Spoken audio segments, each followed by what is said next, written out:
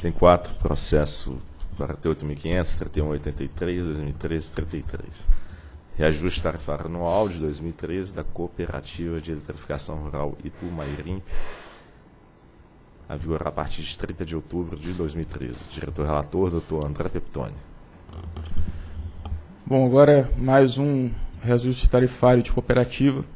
Agora estamos falando da Serim, que é a cooperativa da região de Itu Mairink, que é sediada em Mairink, São Paulo. A cooperativa atende 8.364 unidades consumidoras.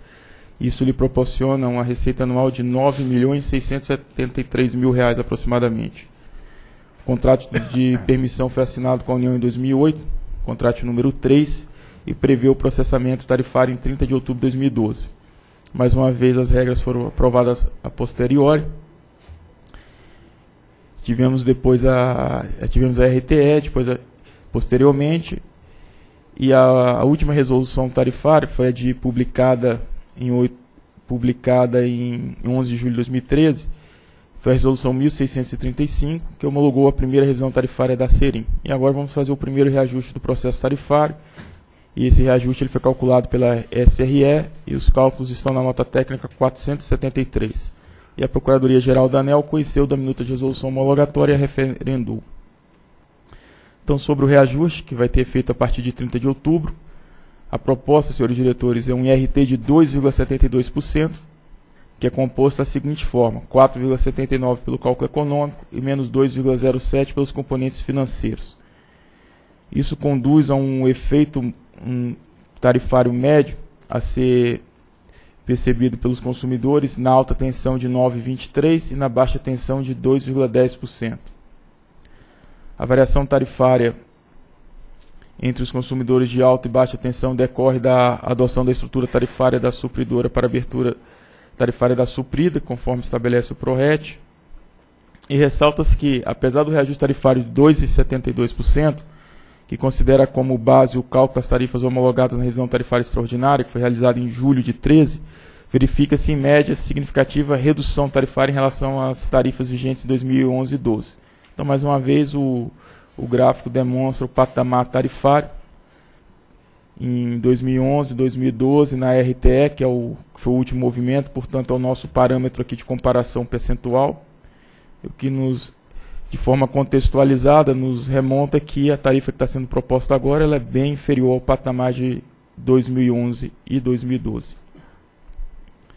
Aí a tabela 2 ela apresenta os principais itens de custo que conduziram a esse efeito médio. Chama atenção aqui para os encargos setoriais, praticamente neutro, uma redução de 0,08%. Energia comprada, também praticamente neutra, 0,12% e o transporte contribuindo com efeito no IRT de 1,59%. Então a variação da parcela considerando transporte, energia e encargo, é de 1,63%.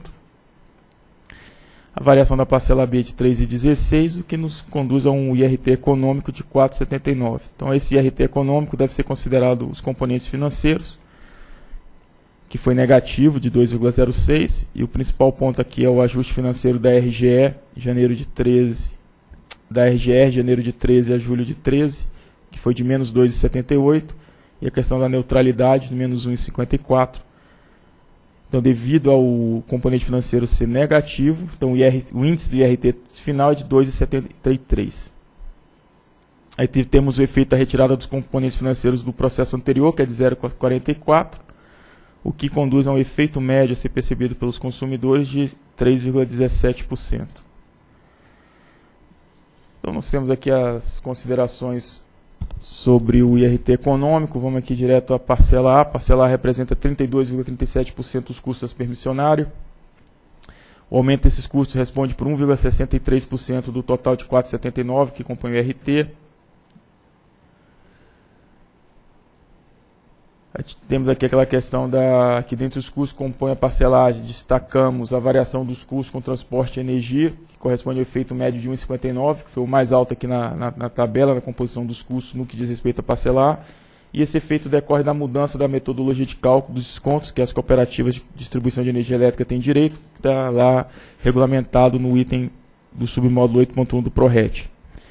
Em relação à demanda, foram estabelecidas novas tarifas de ponto fora de ponta. Como já falei, isso está sendo feito para todas as cooperativas. Até o atual processo tarifário, esse custo então era sempre precificado como uma única tarifa. Está sendo feita a abertura agora nos primeiros reajustes. Aí temos a, aquela questão do desconto, que a despesa com o transporte de energia da permissionária recebe até 70% de desconto, de forma que a receita requerida da permissionária não ultrapassa os 110% da receita de referência. E no caso da Serim, a aplicação de tal metodologia resulta no desconto de 70% na turja a ser paga pela permissionária em favor da supridora, que é a CPFL Piratininga. Tivemos também a aplicação do desconto no reajuste tarifário da serinha e resultou em uma receita econômica de 117%, considerando esse desconto. E no que tange as tarifas de energia, em conformidade com a resolução 206, a valoração dos custos de aquisição de energia se deu a partir da tarifa de suprimento definida no, no reajuste da CPFL Piratininga, agora de 2013, sobre o qual se aplicou o índice de desconto definido no processo de regularização, no percentual de 63,28%. E sobre a parcela B, temos que ela representa 67,63% dos custos da permissionária. E na atualização da parcela B, considerou-se a variação acumulada do IPCA de 5,86%, subtraída de um fator X de 1,15%. O fator X já foi definido no, na revisão. E ao se considerar que a parcela B da Serim tem participação expressiva na receita da permissionária, o incremento desses custos responde por 3,16% de um total de 4,79%. O gráfico apresenta essa, essa participação do segmento de custos na composição da receita da permissionária. Chama atenção para o gráfico 3, onde a parcela da distribuição representa 52,3%, transmissão 4,7%, energia 17,1%, os encargos setoriais 3,13% e os tributos 22,3%. E sobre os componentes financeiros, temos que o valor que é ele como foi feito a posteriori, então tem um, um, valor aí entre a tarifa que devia ser praticada no momento da revisão e a tarifa que foi praticada, e esse valor dessa diferente receita ele foi apurado e atualizado mensalmente pela variação do IPCA, o que totaliza nega de 885 mil reais aproximadamente né, é, negativo, e para manter a estabilidade tarifária, moderando os efeitos do atual e do próximo processo tarifário da Serim, propõe-se a consideração no reajuste 2013 de 0% desse valor apurado. O saldo deverá remanescente ele vai ser atualizado conforme critério estabelecido pela ANEL para consideração no componente financeiro nos processos tarifários subsequentes, corrigindo monetariamente pela Selic até sua efetiva liquidação, que poderá ocorrer até o final do segundo ciclo de revisão tarifária da permissionária.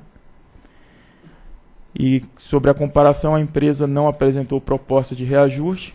Está sendo aqui, então, efetivado os comandos do contrato de concessão, então não tem o que ser comparado. E pela questão da subvenção da, da CDE, nós temos que o valor mensal a ser repassado à Eletrobras a Serim no período de 12 meses, a partir de outubro de 13 até o décimo dia útil do mês subsequente, será de R$ 13.953,59 e esse valor visa custear os descontos tarifários retirados da base tarifária. E diante do exposto e do que consta no processo 48.500.0031.83.2013 de 33, voto pela aprovação de resolução homologatória com minuto anexo, com o objetivo de homologar o reajuste tarifário de 2,72% para a Serim, a partir de 30 de outubro, conduzindo ao efeito médio de 3,17%, e esse efeito médio é composto de 9,23 para os consumidores em alta tensão e 2,10 para os de baixa tensão. Fixar as tarifas de energia e o sistema de distribuição relativo ao suprimento da Serim pela supridora CPFL Piratininga. Fixar as cotas da CDE do Proinfa, bem como os níveis de desconto sobre energia e transporte e homologar o valor mensal de recurso da CDE a ser repassado pela Eletrobras a Serim, de modo a custear descontos da retirada da estrutura tarifária de R$ 13.953,59. É o voto.